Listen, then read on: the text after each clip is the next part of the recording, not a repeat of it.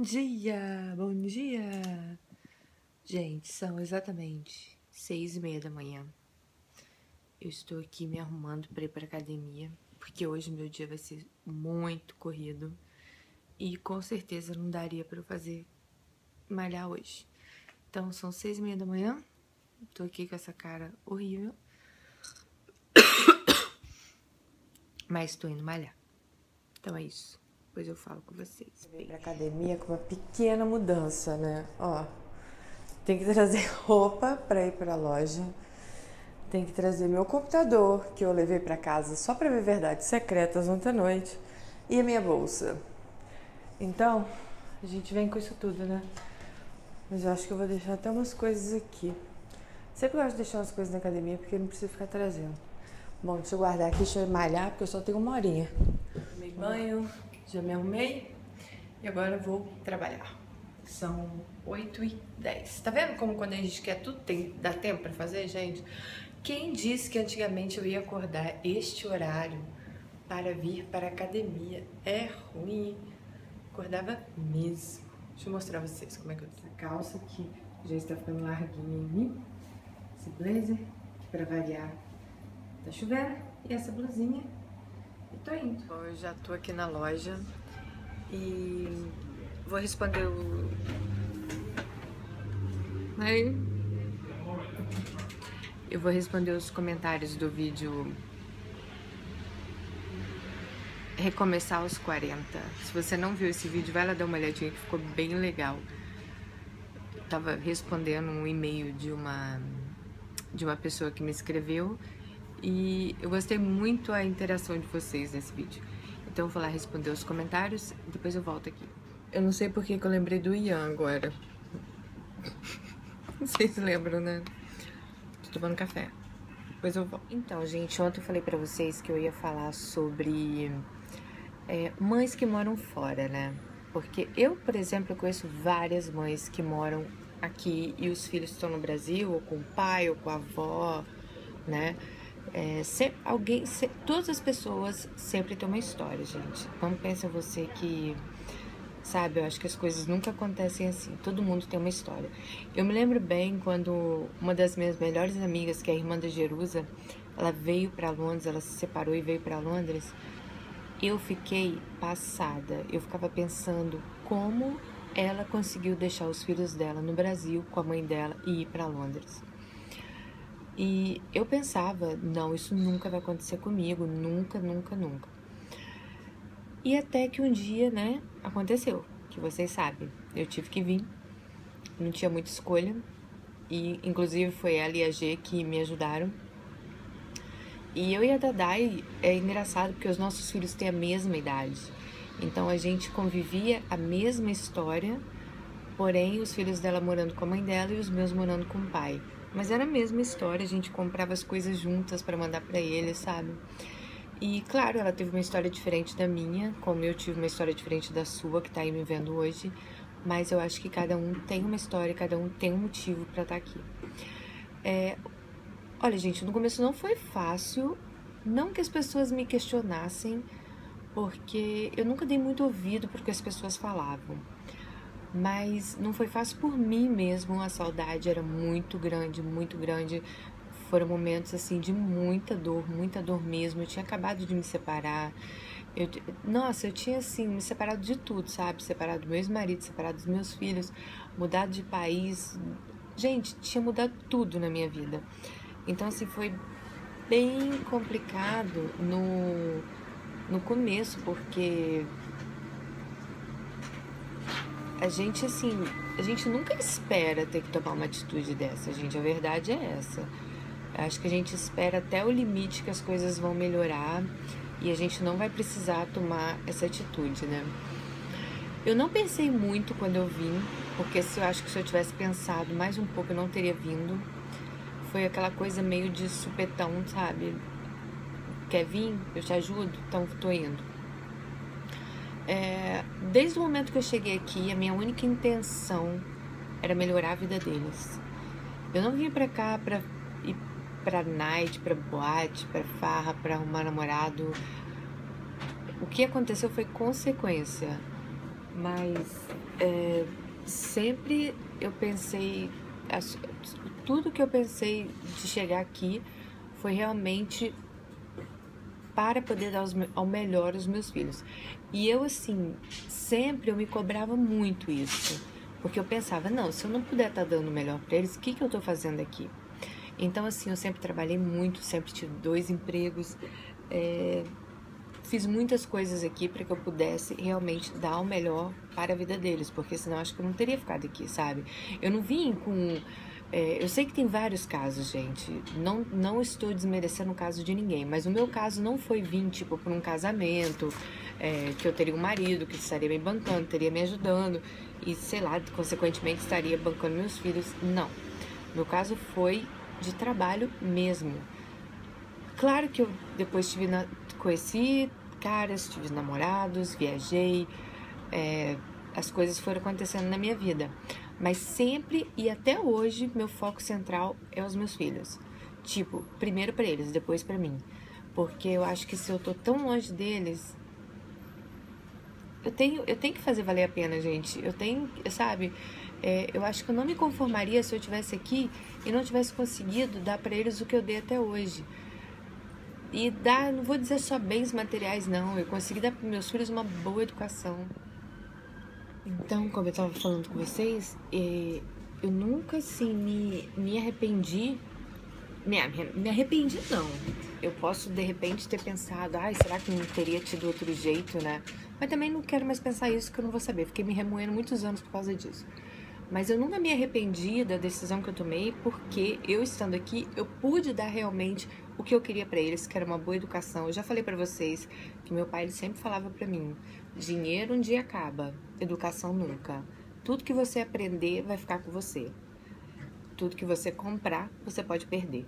Então, assim, isso é meu lema da minha vida. Então, assim, sabe, é, eu nunca me arrependi porque realmente uma boa educação eu pude dar para eles. Aí. Outra coisa que me perguntaram também. Bom, gente, eu meus filhos ficaram. Quando eu vim para Londres, acho que vocês nem sabem esse pedaço dessa história. Quando eu vim para Londres, meu ex-marido estava na América. Sim, ele estava lá na casa da minha irmã. Ele tinha ido tentar ficar lá, mas não deu certo, não deu para ele.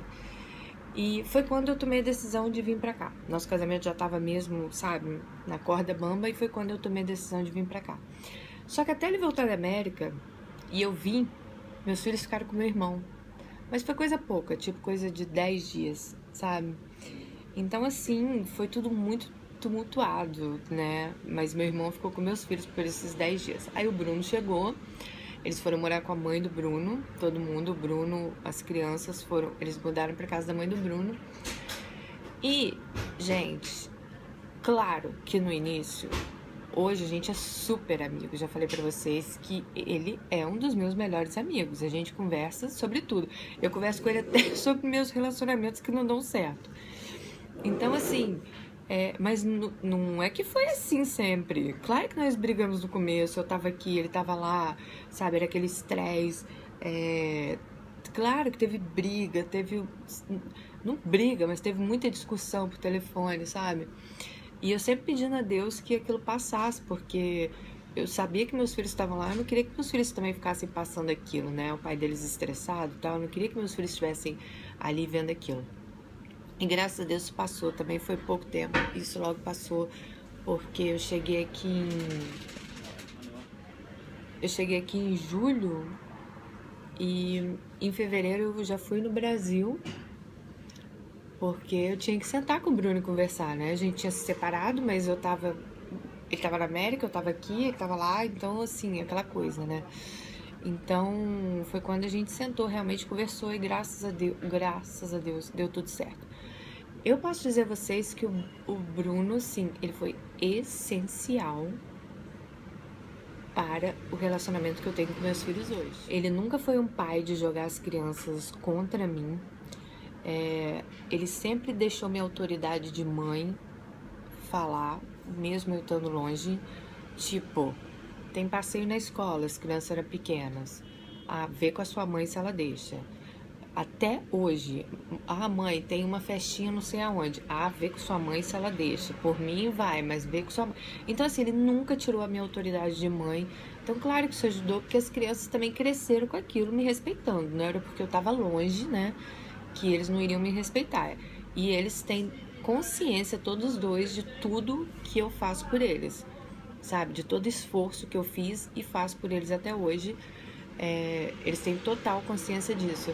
Então, o Bruno me ajudou muito. Eu vejo muitos casos de pais que acabam jogando os filhos contra as mães, se elas estão longe. Até avós, gente, que joga os filhos contra as mães ou algum parente, sabe? Então, isso é muito ruim para criança, muito ruim mesmo. Eu, graças a Deus, eu não tive esse problema com o Bruno. Então, como que foi lidar com, com isso? Porque vocês viram Melina tão segura e muita gente me perguntou a minha filha ela cresceu muito segura porque mesmo eu estando longe, eu dei muita segurança a ela, sabe? Eu ligo todos os dias para meus filhos, gente, todos os dias. Eu acho que eu nunca deixei de ligar um dia. Se eu não falo com ele pelo WhatsApp, eu vou falar pelo Skype, eu vou falar pelo telefone, eu vou falar de algum jeito, mas eu falo com eles todos os dias. E então assim, eu aqui, eles lá, mas eu falava, como é que foi a escola? Fez o dever de casa? O que, que tem de dever hoje? Tal. A gente ficava muito tempo no telefone, falando porque eu queria participar do dia deles, entendeu? Hoje eu sei que eles já estão, Melina vai fazer 18 anos, o Bruno tem 15, já estão tudo namorando, entendeu? Mas até hoje eu pego no pé deles. Ah, mamãe já disse que te ama, mamãe não sei o quê. Então eu acho que você tem que dar muito amor ao seu filho se você estiver longe, conversar muito com eles. E vocês veem que não é impossível. Meus filhos eram duas crianças quando eu saí de lá. Praticamente são dois Melina quase uma adulta, né? 18 anos mês que vem. O Bruninho, um adolescente, maior que eu. Então, assim, é, os dois nunca deram trabalho para mim e para Bruno. E eu acho que é isso, gente. É, você tá longe, mas eu acho que você não deve perder seu papel de mãe. Você deve estar, mesmo longe, presente na vida dos seus filhos. Eu lembro um dia das mães, que, acho que foi ano passado, retrasado, que a Melina escreveu um post para mim, mãe. É, você é muito mais presente na minha vida do que muita mãe de amiga minha que mora na mesma casa. Então, assim, talvez eu converse mais com a minha filha do que muitas mães que moram na mesma casa não conversam com seus filhos. A gente tem uma relação muito aberta, a gente tem uma, a gente tem uma amizade, entendeu? Com meu filho também. É, eles não têm problema de falar nada para mim, a gente fala tudo um pro outro. Vocês sabem que eu sou super cabeça aberta, vocês sabem, e eles participam de tudo, sabe? Então, eu acho que é isso, gente. Eu acho que se você hoje está passando pelo que eu passei e passo, né? É, tente se manter presente na vida do seu filho, mesmo você estando longe. Ligue para ele, converse com ele, pergunte como está o dia dele. Não deixe que isso passe, porque principalmente quando é criança, gente, a gente não pode deixar isso passar, porque senão você vai se tornar um estranho pro seu filho, sabe? Porque você tá muito longe. Então, assim, eu tinha esse medo de me tornar uma estranha para os meus filhos. Mas não, a gente, graças a Deus, a gente conseguiu vencer a barreira da distância e é assim que a gente vive até hoje, né? E vamos ver até quando. Daqui a pouco eles estão tudo casados e eu tô aqui ainda. Mas é isso que eu queria falar para vocês que me pediram para falar, né? Que eu falei que eu, eu iria comentar esse assunto. Então, eu acho que é assim. É assim que eu fiz, é assim que deu certo para mim. E mais uma vez, como eu já falei várias vezes em vídeo, eu agradeço muito, muito meu ex-marido por ele ter me ajudado nisso tudo, porque eu acho que se não fosse por ele, se ele tivesse me jogado contra as crianças, se ele tivesse falado absurdos de mim, talvez hoje a minha relação não seria tão boa, nem com ele, né? E nem com, meus, com os meus filhos. Então, assim, ele com certeza foi fundamental para eu ter para eu ter essa relação que eu tenho hoje com os meus filhos.